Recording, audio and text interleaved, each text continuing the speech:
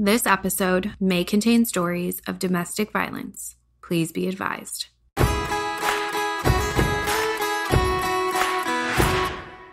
Welcome to the Sage Advice Podcast, where each week we sit down with people just like you who have left abusive relationships and found healing. Don't forget to check out our website, sage.community, because together we can survive abuse with grace and empathy. Now sit back and get comfortable. The Sage Advice Podcast starts right now. Hey everyone, welcome to this week's episode of the Sage Advice Podcast. Today's guest is Tina. She reached out to me on Facebook and wanted to share her journey with everyone. Amidst the chaos of her abusive relationship, Tina found guidance from some unexpected places, and eventually she decided to pursue massage therapy as a way to help other trauma victims cope and to help them heal their bodies through positive touch. I hope you enjoy this week's episode. Here is my conversation with Tina. So let's welcome Tina to the show. Hey, Tina, thanks for being here. Hi, nice to meet you, and thank you for having me. Of course, of course. So, why don't you tell everyone a little bit about yourself and what motivated you to reach out about this topic? Um, well, I'm a licensed massage therapist in Connecticut. And when I decided to do this venture, I wanted to focus on trauma because it's been a constant thing throughout my life, starting from childhood. So I I have a very big identifying and empathetic view with it because of how long I have dealt with it to the point where I had been diagnosed with complex PTSD because of it. Um, and the wow. last portion of it was dealing with my previous marriage, um, which I'm, of course, not going to badmouth an individual, but um, it was definitely traumatic and abusive with an addiction situation. Um, and it rendered me to a point of suicidal uh, because it got it got it gets you to a point where you feel like you cannot escape and you and you don't know what to do and no one's there to help you and no one's going to understand so your final thought is well i'll just end it all and it'll all go away um, and that's how far low was my lowest point and that was around probably like 2015, um, between 2014 and 15. Um, so thank you for sharing that. Um, it's been a, personally, it's been something that's happened in my universe this this weekend, and I I think just sharing that with everybody can help save somebody. Oh, definitely. I mean, uh, uh, addiction is a, a very hard um, thing to to get through just on the addict side, um, which is why I'm not going to ever badmouth an addict um, yeah. because it's it's a it's a disease.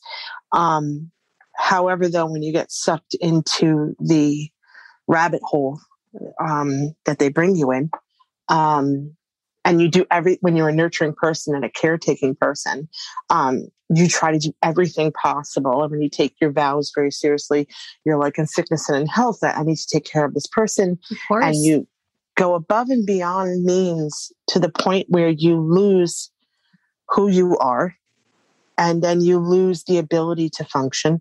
You lose the ability to just get up every day and go to work without wondering where is this person? Uh, are they using are did they leave the house? Did they steal? Did they get in trouble? Are they arrested again? Are they in jail again? It's like this constant constant repeat it's like it's like this roller coaster ride that just doesn't stop um, and i went through that for about 10 years and i just decided to jump off the roller coaster um, so, and that was in New York. And when I jumped off my roller coaster, I will definitely label it as running away. I ran away. I picked up my dogs, my mattress, um, my clothes, TV, um, whatever I could pack in one hour. And I left the state and I went to a whole other state and just. Was was the suicide your turning point or was it something else that happened? Well, what was pretty interesting about that is um, my ex, when he was using, unfortunately, was quite violent and uh, verbally abusive. So um, there was always a tornadic chaos in our home. And you get used to the was, chaos. Oh, yeah, you do. It gets comfortable actually because you're so used to it. Yeah. Um, but the suicidal thoughts started to occur when I just felt like I was not going to ever escape. And when he would threaten that he was going to kill me or he was going to find my family and kill them all or whatever he would threaten when he was using. Um, I had a, this is going to sound a little weird, but I had a dream um, and a figure of what would be identified as Mary came to me in my dream and she told me to bead a rosary and made me laugh because I'm from New York and I woke up from my dream and I cursed and I'm like, what the F? I don't know how to beat a rosary. I'm like, I don't even know how to read the Bible. So I, I just was like taken aback by the dream. And then she kept coming to me in the same dream, the same place, the same, it was a hill with a tree, uh, beautiful blue sky. And I would sit at the tree and she would, this figure I can't say an individual person because I didn't see her features, but this figure kept coming and it, it, felt like a mother, which is why I identified it as Mary. And I finally agreed to start beading a rosary and I beaded my nephew's communion rosary. And I did it in the middle of my living room while my ex was having a meltdown. And it was the first time I discovered peace and chaos. I felt like when a tornado goes through a town and it leaves only the one house standing. I was that one house. And then I started beating for over a year. Oh, wow. Every day. She would come every day in my dream, and every day I'd make a new beating, and every day I'd make this. And then all of a sudden, I started posting pictures of it on Facebook, and it was funny because I would post them up there, my designs, and then people go, "Oh my god, I want that! How much is that?" Oh my God, I, I love that. How much is that? And then I was like, I don't know. I, I, I don't know. Whatever you got. She's just telling me to make them, people. I don't know what For to do real. with it. And then I started selling them. And then I started working on people that had funerals and they took their dried flowers and they would send it to me. And I would continue to dry their flowers further and I would actually make beads out of those flowers. And then wow. I would construct a rosary and mail it back to them as a memorial. That's beautiful. I did that for a while. And this whole time, in those like two and a half years, he was still in his own cavernous world of insanity and getting arrested in the middle as well, leaving me alone. I had to fend from things with money. But during that whole time, wow. I never once went back to chaos. And then I. Your analogy or, or your metaphor of like standing in the town as a tornado goes by and just you're just in a quiet sleepy little town. That's a it's a great way to describe it and i'm i'm happy for you that you mentally were able to find that. It just took a while. It took yeah. a while. And then to physically leave was very difficult because he was still in the house and i had to pack while he was there and he knew i was leaving. He didn't know where i was going. He didn't know when i was going but he knew something was changing. And every day it was an argument. And his narcissism got worse and worse and worse and worse and worse. Oh, he would trash me.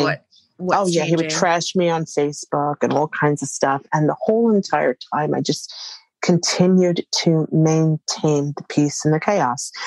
And I learned it's like if you've ever been in the in the ocean and there's a storm in, in, in the area and everything's tormented and like there's waves and sounds and thunder and lightning.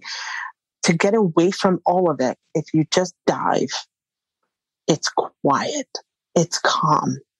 And I had to learn how to dive in me and everything else just disappeared.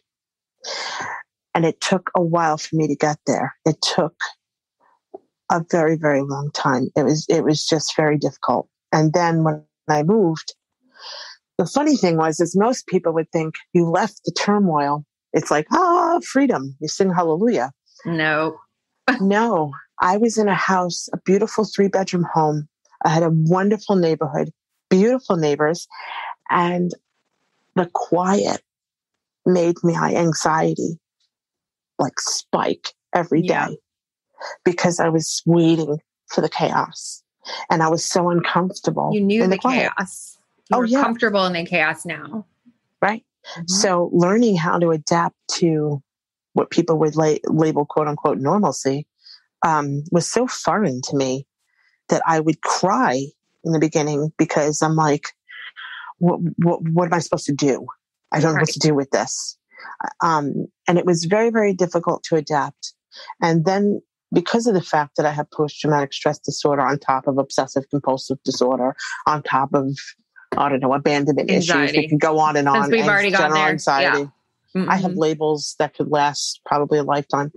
Um, once I, eh, my PTSD started kicking in more, uh, that fight or flight and that that unsettling feeling that I always have with PTSD, waiting for the next shoe to drop. Um, I decided to find a massage school. Why I don't? I woke up one day and said, "You know what? I'm going to go look for a massage school." I went and found one.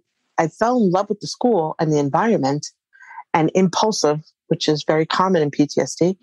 Um, my impulsivity led to, you know what? I'm going to spend fifteen thousand dollars and become a massage therapist, and I'm going to go to school at night, three days a week, from six to nine while I work in New York from six in the morning until two o'clock in the afternoon. Yeah, sometimes you just have a calling. You do yeah, this doing this podcast, doing Sage. It was what I had to do. Um, I had the same when I got my dog. I could not go from chaos, moving around, living on people's couches to complete quiet. It wasn't going to happen. So I got a dog who barks at everything. but it's yeah, you, tr- you it, try to fill that void. I did. Well, I I didn't know he was going to bark at, any, at everything, but he and and he's been the best companion. But I understand that whole like you've been in chaos now for for a long, long time. That's what you're used to, and so the quiet is scary. Correct, and that's like a major difference between uh, post traumatic stress disorder and complex post traumatic stress. Um, one regular PTSD. Um, if you think about like um, I don't know, a military veteran, they come mm-hmm. home. Um, that one traumatic event that they experienced gets once they start getting into therapy and sometimes they need medication, whatever it may be, um, that event then becomes kind of filed and they can move a little more forward in their life. With complex PTSD, it's constant chronic trauma from years past to current. It just keeps going. Like before my husband, it was my ex-husband, it was uh, 9-11 because I was mm-hmm. six blocks away during 9-11. So my PTSD Ooh. immediately got charged again. Of course. Um, so, you know, it, it was just been a constant, as soon as I get through one stage of it, something else happens and now I'm dealing with it again. Um, and it rears its ugly head. And unfortunately, because of the years of it, um, granted, I've had been in therapy since I was a child um, all the way up on and off now, and I'm almost 47. Um, excuse me, I am 47, I'm going to be 48. But um, I've been in therapy my whole life on and off. So I've learned many, many tools. And unfortunately, with uh, PTSD and the what version I have, um, I have what's called creepies. So, like out of nowhere, a creep will go up my spine mm. and it'll start my anxiety. It'll start my panic. It'll start my overthinking. It'll start my, uh, and I, you know, I'll freeze for a minute and try to figure out what my next move is going to be. It'll start my plan A, B, C, D, E, and F, you know, to get out of the situation. Yeah. Um, you know, my mouse starts turning, my hamster starts turning. Um, my current boyfriend now, he, we joke because he calls me Hammy from over the hedge because I spin like a squirrel when I get in that mode and it's very yeah. difficult for me to stop and slow down. Um, you never really know when it's going to happen either. That's why I call it creepy. Just creeps mm-hmm. out of mm-hmm. nowhere. Mm-hmm. It's a creep up the spine. Um, but I've learned to identify it. That's one of the things I work on now. Is I learn to identify and label. I call it a name. It exists, and once I know it exists, I could sit there and process it and try to flow with it and adjust with it mm-hmm. and rationalize it so it doesn't become this irrational thought. Yeah, talk yourself through it and correct. Like no, it's almost like you're talking to yourself like you were a parent or a teacher. But to correct. me, for me, it's like, you know what? We've been through this before. Mm-hmm. It's gonna pass. You're gonna be fine. Just focus on right now. Exactly, exactly. And a lot of changes that have happened in my life in the last four and a half, five years have been dramatic. and very, very dramatic in a positive way. I, I would not think where I am right now, I would have been five years ago at all. I'm in a completely different zone in space, which is amazing. Is it more peaceful? 110,000% it is. And I learned to find, no, I learned to grow. I don't want to say find myself. Matter of fact, I try to tell people not to say that because you're never the same person that you ever were. You've learned to grow. You've learned to evolve. You've learned to change and you've learned to accept the changes that you now have. So I will definitely say that I didn't find me again. I kind of regrew me. Yeah, I love that. I love that you brought that up. That's something that I tried to explain to my friends, you know, right after everything happened, because I wasn't the same. No. I wasn't the same as I was in the relationship. I was not, definitely not the same as I was prior to the relationship. And that was going to take a lot of time. Hey guys, it's Erin. In this episode, Tina received spiritual guidance to help her on her journey. If you want to strengthen your own spiritual connection, please join our group classes on spirituality. You can register at sage.community or on Facebook at sign our sage community. Now back to the show.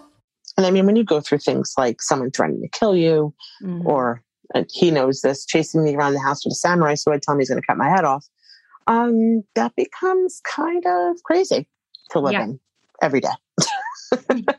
you don't know what you're going to come home to.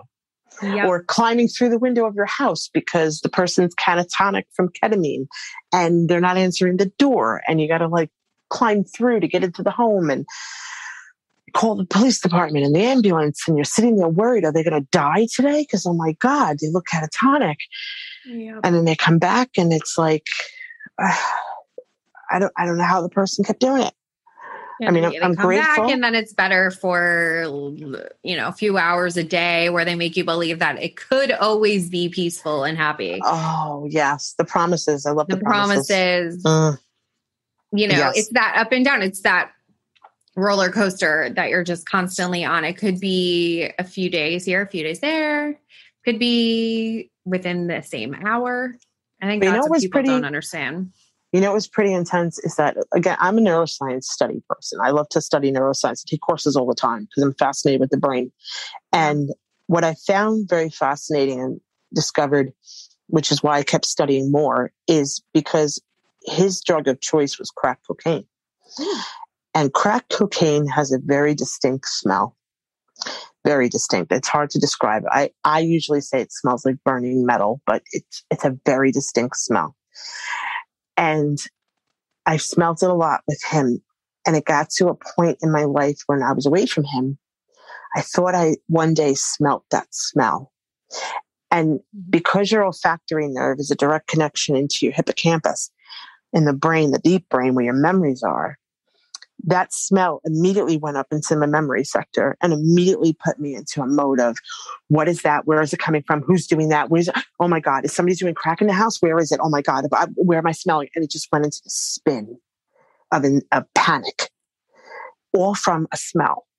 Yeah. It's amazing how uh, smells work with the brain.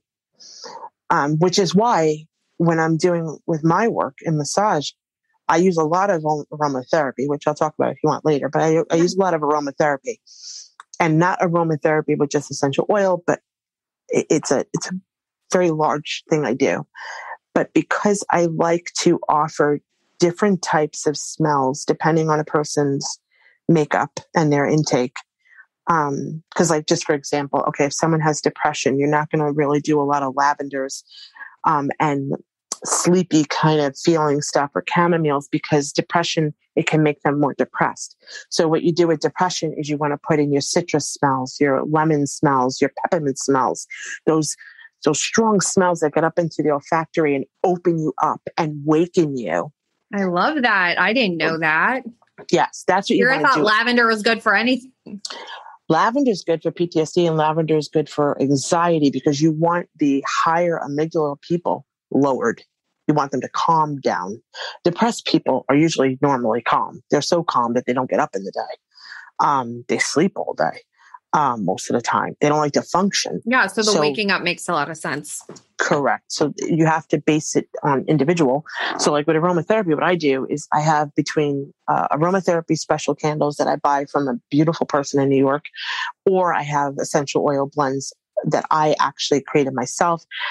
And I'll do a setup in the room for smell based on the individual person and what they're going to need. So if it's a person that needs uplifting, then we'll do uplifting things in sensory when it comes to the olfactory. If we're somebody that needs more calming, or maybe they suffer insomnia and they need something to bring them down for calming, then I'll do uh, aromatherapy based on that. Um, so it's very, very customized and tailored um, when they come in this room. Everything is down. I use a lot of things. I use a lot of sensory work in here, aside that. from touch. So you touched on it earlier, but you know, let's circle back to the effect on the body that this trauma has and how you deal with that as a massage therapist. Well, for myself, just to start, when I was in massage school, I went in there with the idea of I'm going to massage people. This is great. I didn't realize that I had to get on a table and people were going to touch me.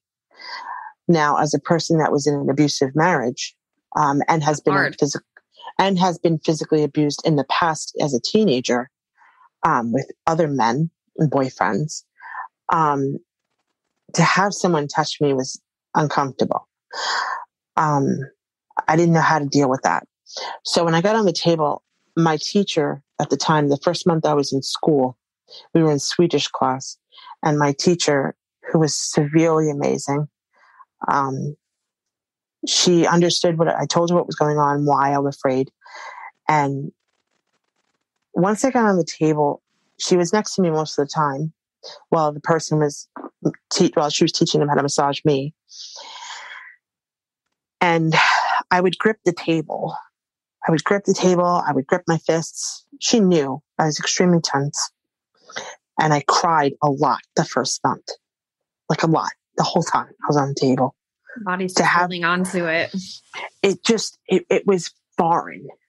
And not even so much holding on, it was foreign. I didn't know what it was. And I didn't understand the difference between something feeling great and something like, is something bad going to happen soon? Because it always does. Right. That's like that mental thing you put in your head.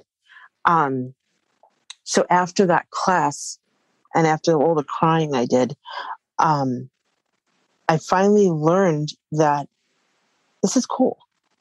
This feels good. It is cool. And the more I was, and mind you, I was in school for 17 months. The more I was in school because of COVID, um, I, every day, the trust level that grew from my peers, my classmates, my teachers, the mm-hmm. school, every day my trust grew and every day the feeling of getting a massage, feeling like you were in a cocoon of something comfortable just grew exponentially. By the time I graduated, I was profoundly dedicated to proving that massage, although most people look at it as a luxury, is beyond that. It is a very, very therapeutic tool to teach people like me domestic abuse, physical abuse, sexual abuse, um, PTSD, general anxiety disorder, social anxiety disorder, agoraphobia, that it's very beneficial for them to learn and understand that having that kind of touch even if it's just a laying of a hand, having that kind of touch and learning how to build that trust is probably far more worth than just getting your muscle rubbed out. Because once you get your mind completely on board with this new normal and it starts to rewire and it starts to reprocess, your body will naturally fold down. Like if you have ever seen somebody come in a room and they're very tense up. I see it a few times with a couple of my clients. They come in, they're tensed up, their shoulders are raised, their their fists are gripped, you know, they're very uncomfortable, they're yeah, rambling. Sure. they're rambling about their day. And then when they walk in the room, and if you just lay them down, and most times I have my aromatherapy already started, I have everything set up, I have light set up in a certain way in this room. As soon as they come in, you can immediately see the shoulders just drop. I don't even have to touch them yet. Mm. It was just the environment that just completely made their tense shoulders go down. It's your, you, you know, your body before your brain can just sense the, the peace and the healing and the safety. That's yeah. another thing. They feel safe. If someone feels uncomfortable in a room, trust me, they're not going to want to be in the room. They're going to be like, uh, I don't like this place. And their instinct is going to tell them to leave. But I set this up in a way that when they first walk in here, everything falls to the floor. Mm. And then after that, once they're on the table, I massage differently than most. I, I for myself, don't prefer to use uh, a lot of deep tissue work or trigger point work because when you're trauma- traumatized already, traumatizing the body more can make it worse. And then people can disassociate on the table, and then people can have episodes of of things, you know, and it, it, it's not therapeutic. So what I do is very slow, very slow moving, um, and broad stroked. But I do put pressure.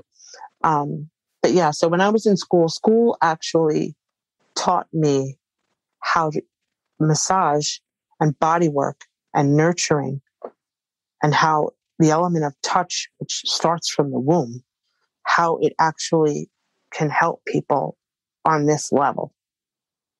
It, it's, it's pretty insane.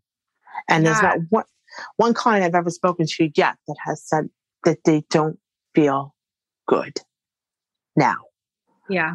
It's it's beautiful. I mean, I, w- I encourage everyone to to find a massage therapist like you and and not to say anything against the the chains or anything, but oh no, no. You want to you want somebody who really cares about you, your whole being and there, and there's a place for every type educated. of massage therapist. There's a yeah. place for everybody.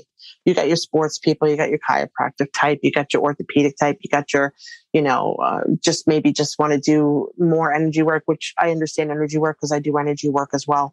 Um, everybody has their type and style, which is why when people come to me and I feel I'm not a good fit, I'll, I will refer them out. I have a network of people. I'll say, you know what? I think this person's better for you and I'll refer them out because I want people to be where they need to be.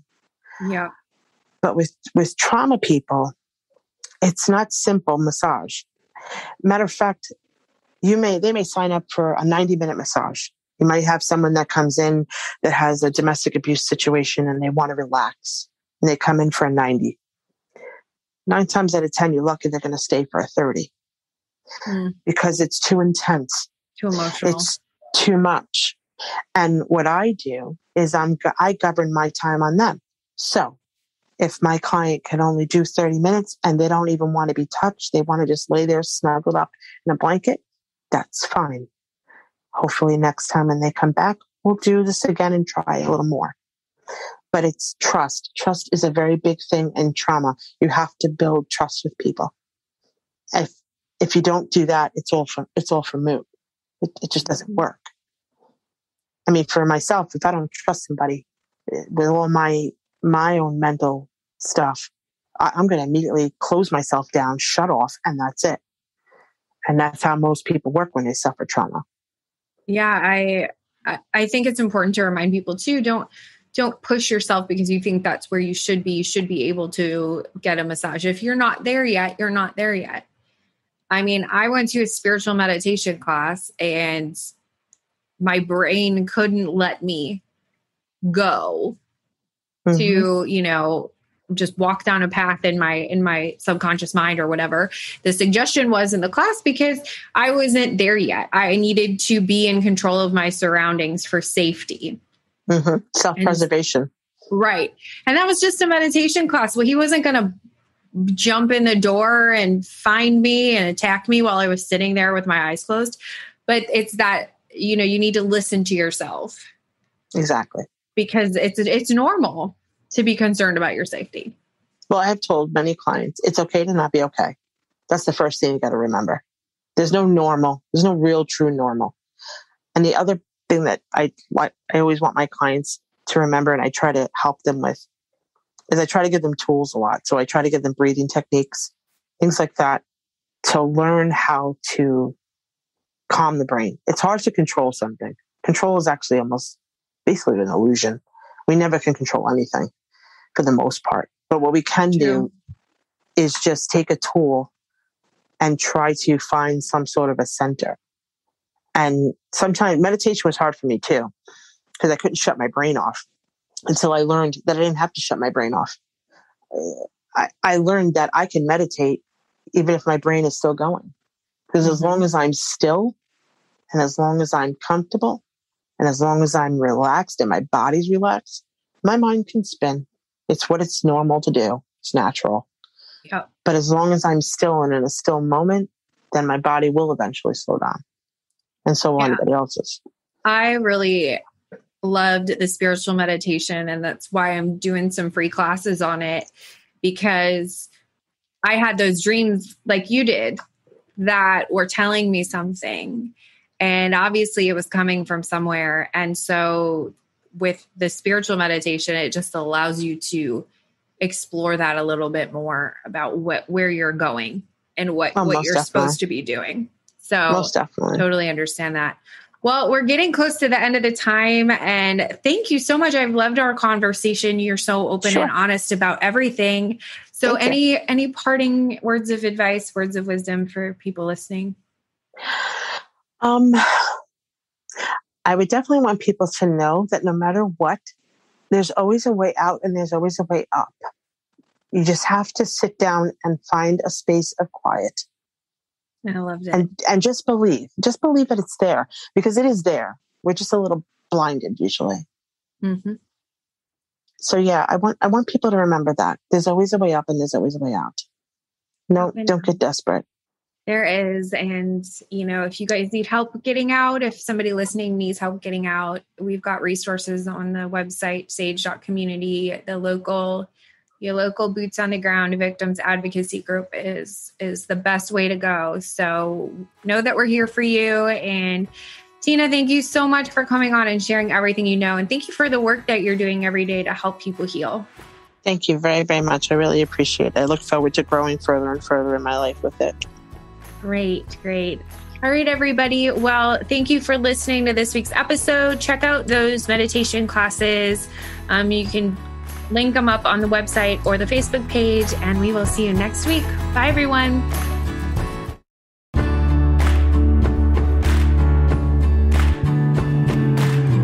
Well, that's our show. Thanks for listening.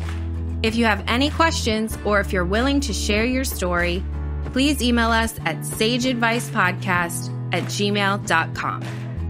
Until next week, remember when you're kind to yourself, the healing can begin. See you next time. This show was brought to you by InFlowRadio.com, the best curated talk radio network for personal development, wellness, spirituality, and conscious business. If you or someone you love is in immediate danger, please call the National Domestic Violence Hotline at 1 800 799 SAFE. That's 1 800 799 7233. For more information, please see the resources tab at sage.community.